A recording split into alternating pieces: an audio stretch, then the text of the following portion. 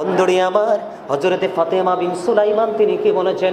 নবীর আগমনে আনন্দিত হয়ে আকাশের তারাগুলো বন্ধু জমিনের একেবারে কাছাকাছি চলে এসেছে। মনে হয়েছিল তারাগুলো যেন ওনার উপর এসে পড়বে। এটা আমার বক্তব্য না বন্ধু।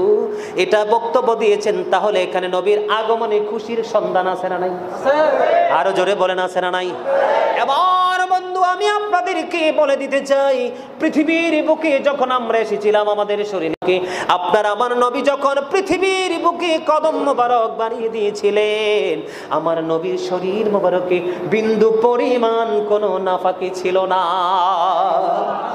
নবীকে কেমন করে বলে তারা আমাদের মতো? নবীকে কেমন করে বন্ধু নির্বিঘ্নে বলতে থাকে তারা নবী আমাদের মতো? আমার মতো বন্ধু বড় লজ্জা লাগে, বড় আফসোসও লাগে। এরার উপায় বন্ধু কবরে গেলে থাকবে না। আপনারা জানেন না সিয়াসিত্তার অন্যতম হাদিস গ্রন্থ বোখারি শরীফ। বোখারি শরীফের মধ্যে এসেছে, অধিক বেশি নবীর প্রেমিক, নবীর ভালোবাসার দাবিদার, নবীর প্রেমিককে কবরে মাত্র একটা মাত্র প্রশ্ন করা হবে। সেই প্রশ্নটা হলো, আপনার আমার প্রাণের নবী সম্পর্কে নবী সম্পর্কে উত্তর দিতে দেরি রে। ও বন্ধু, তাকে আর কোনো প্রশ্ন করবে না। তার কবরটা জান্নাতের টুকরা হয়ে যাবে। জোরে জোরে বলুন না, সুবহানাল্লাহ। এখনও সময় আছে নবী চিনো গো। নবী যদি চিনতে না পারো বন্ধু, কোনো উপায় থাকবে না। বন্ধুরে আমার, পৃথিবীর বুকে কোনো আলেম, কোনো মৌলবী, কোনো বক্তা, কোনো ডক্টরেট করা বন্ধু, কোনো এডুকেশন স্কলার, পৃথিবীর বুকে একটা দলিল দিতে পারবে না।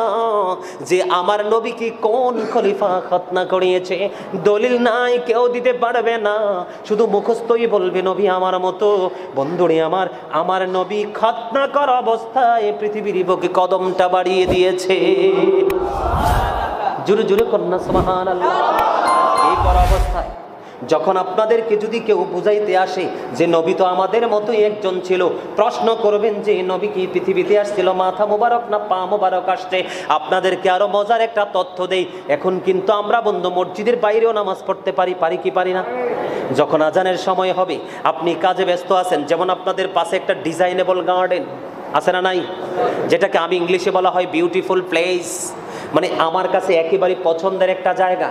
ধরেন এখানে কি করতেছে? কৃষকরা কাজ করতেছে। আজান হয়ে গেল, তিনি মসজিদে আসতে পারতেছে না। তিনি কিন্তু গামছা বিছিয়ে এখানে নামাজ পড়লে কবুল হয়ে যাবে। এই রহস্য কি জানেননি? অন্য নবীদের জামানায় যেই কোনো জায়গায় নামাজ পড়লে নামাজ হতো না। নির্দিষ্ট জায়গায় বন্ধ নামাজ পড়তে হতো। আপনার, আমার নবীর উম্মত আমরা পৃথিবীর বুকে, যুগে যুগে যত মানুষ পৃথিবীর বুকে আসব, আমাদের জন্য মসজিদটাই বন্ধু শুধু সীমাবদ্ধ করেনি আমার আল্লাহ।